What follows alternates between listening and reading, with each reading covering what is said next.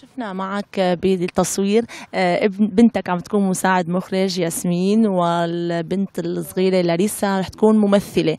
آه، هل هناك مشروع عائلة فنية؟ آه، سمير حسين يأخذ بيد ابنته لعالم الإخراج فينا نقول.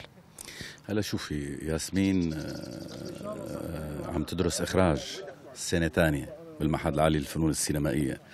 هي من ناحية من ناحية ثانية هي عملت دبلوم دبلوم بالفنون السينمائية بالعلوم السينمائية اللي لها علاقة بالمؤسسة العامة للسينما.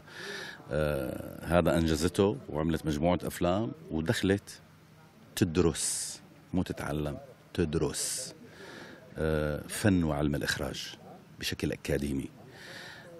آه، هذا بالإضافة لأنه هي لما كان يجوز عمرها ثلاث أربع سنين بأمهات كانت ممثلة موجودة معي. فهي عمليا هي محيطة بكل تفاصيل الشغل بقلب العمل والتحضيرات اللي بتصير عادة قبل قبل العمل سواء بالبيت ولا بالشركات اللي بيشتغل معها. آه، فهي بمرحلة من المراحل هي كانت عم تدرس إعلام طالبة هي سنة ثالثة افتتح المعهد العالي للفنون السينمائية قدمت ونجحت الحمد لله بالمقابلة.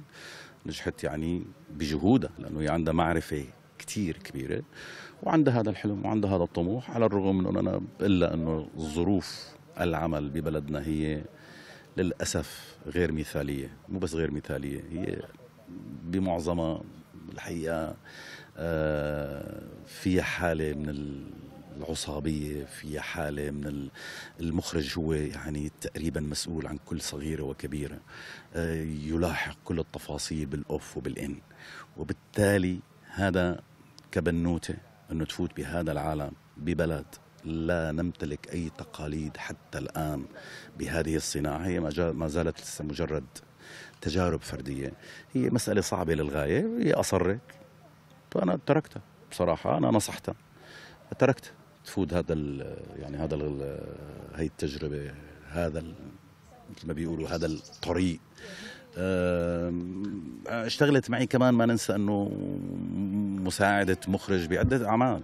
هي كمان قبل ما تفوت تعمل الدبلوم بال- بالسينما وقبل ما تفوت على المعهد العالي للفنون السينمائية. بالتالي عندها خبرة وتجربة كتير مهمة. آه، غير الخبرة والتجربة هي كمان بتفكر بطريقة كتير حلوة مو لأنه بنتي. آه، قرأت معظم الكتب اللي موجودة بمكتبتي العلاقة بالسينما وبالتلفزيون أضف إلى ذلك رواية وقصة ومسرحية فهي إلى حد كبير. معرفيا وأكاديميا راح تكون كتير آه، أرضيتها. ممتازة جدا. فيما يتعلق بلاريسا. طفلة لاريسا. هي مثلت معي آه، كمان لما كان عمرها سنتين. بعتقد بسكتشات هيك فواصل. عملتهم أنا بال 2017 هيك شيء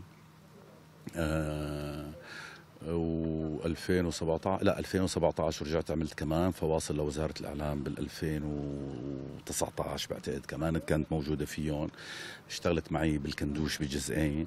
الآن كان في دور آه، طفلة صغيرة آه، اللي هي ليا آه، ودور الطويل ولا تتخيلي قديش كان متعب جدا جدا جدا.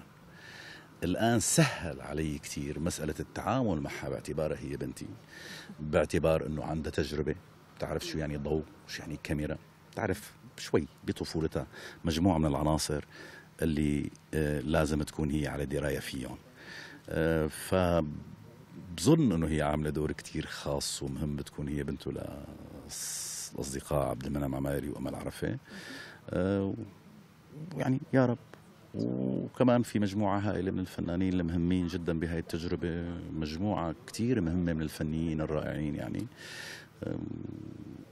فالعناصر النجاح يفترض الآن تكون م- متوفرة إن شاء الله. إن شاء الله حسينا أنك متفائل إن شاء الله بهي التجربة. يا رب إحنا دائما متفائلين.